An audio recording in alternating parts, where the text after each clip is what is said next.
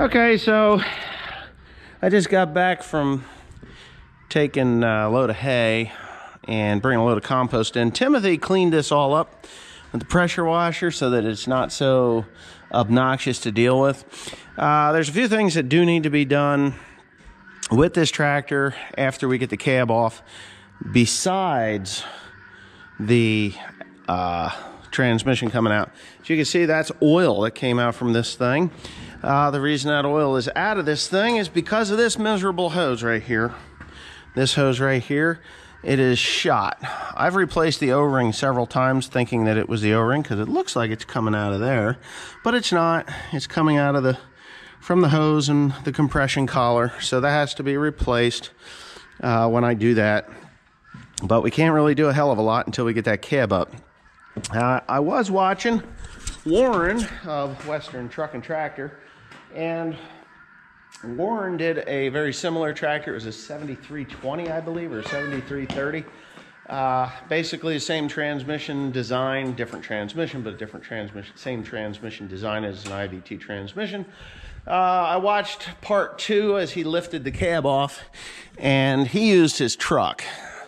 So if he used his truck, I'm pretty sure I can use this the rafters without any problem. I'm not really too concerned. I do have some boards up there that I can use, but I'm not going to do that. I'm going to use those big pieces right there.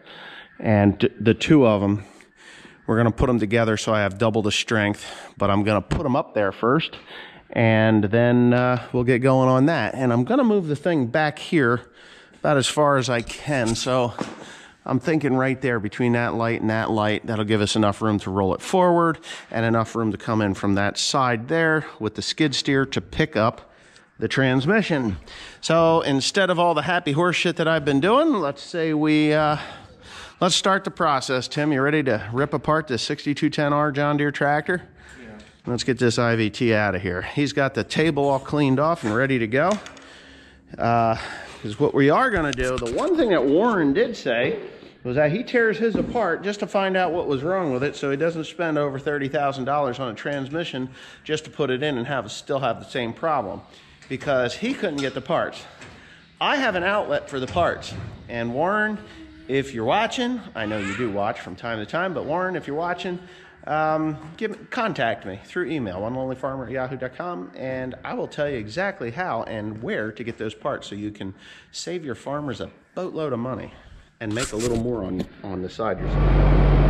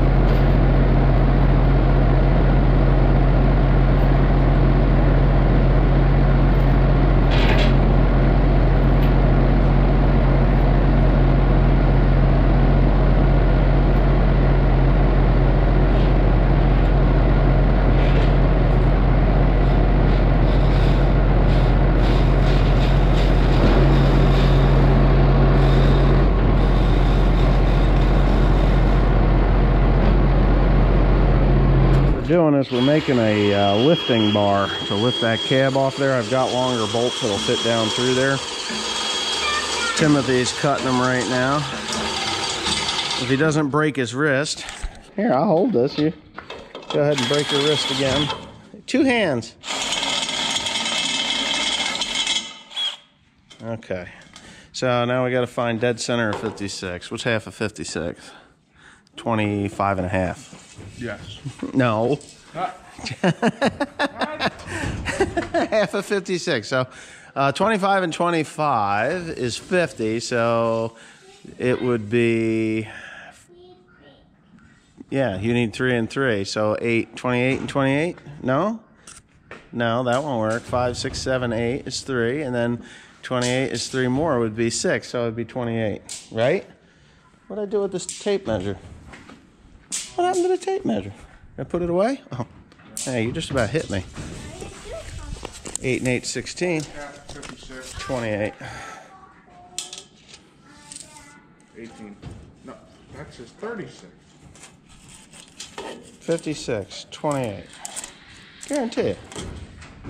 28 would be right here, right? And then we can check our math pretty simply. And ow, the reason I'm doing that that way is because I need to find dead center. What do I do with my, you know, I can buy miles of soapstone and it all gets lost. Anyway, so we put that thing right dead center there, and we go here to 28. So the theme to this is, hey, don't touch that. The theme to this is, did I do it right or did I do it right? Thank you. All right, so now I got to weld something to that to make it a hook that I can grab with the other who's and what's it. So basically, just all I need is a loop, just a, a a piece of steel. That's all. Huh?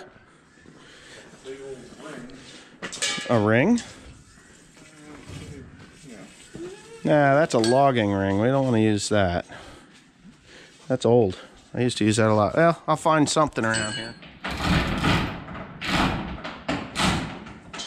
Has it moved? It's moving. It's free. It's free. Oh, it's up. Okay, so their building's gonna come down now? No. I hope not. That shit's gonna piss me off. What I'm gonna do is we gotta come up with something to hold it up.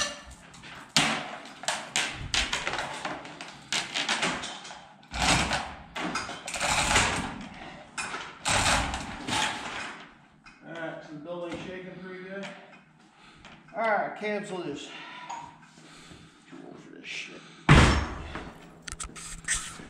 Okay, so, all right. After almost bringing the building down, uh, I had to reinforce the rafters. As you can see, there's like four boards there, and now there's three boards over there. So we've got enough rafter to hold the whole damn thing up. Um, this is a pain in the neck.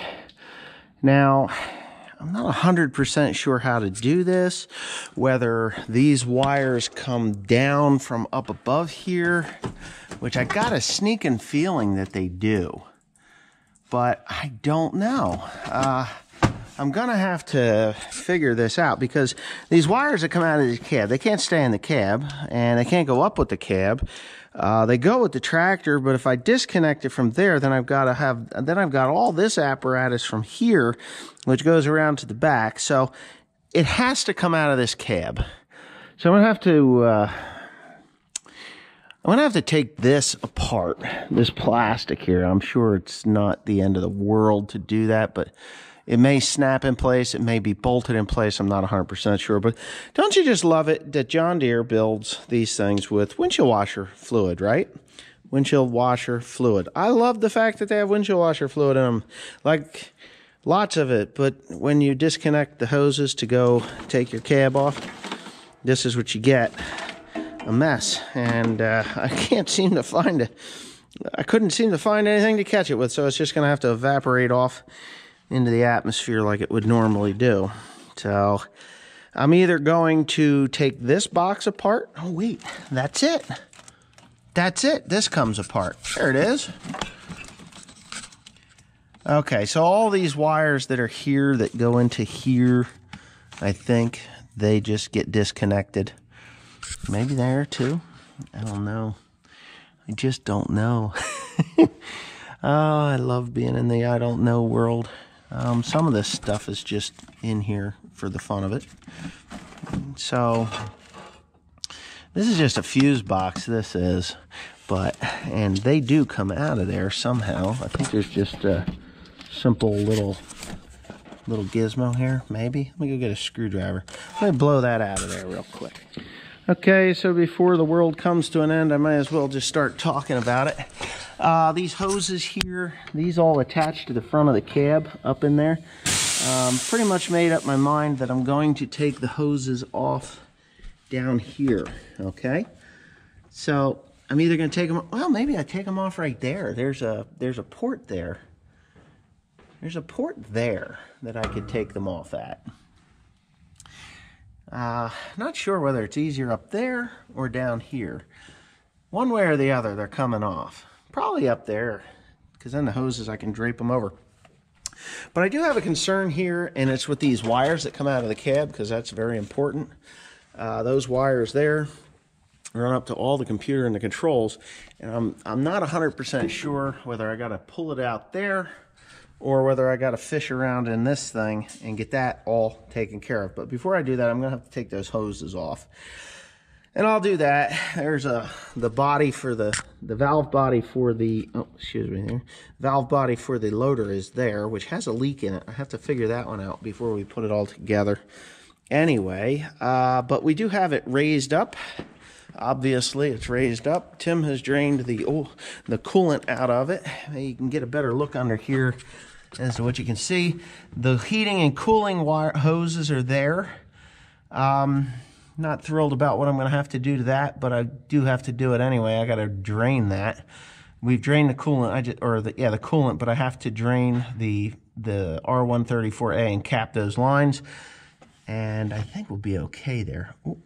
So, yeah, no big deal. Uh, we're almost there. I took the this cable here is to release the park to roll the tractor out from underneath there. So when I do get all those hoses, wires, and lines all done, um, I will be able to just go over there with a, an adjustable wrench, pull it forward, or a piece of pipe or something, put it on that thing, pull it forward, disconnect the drive line has to come off, the front drive.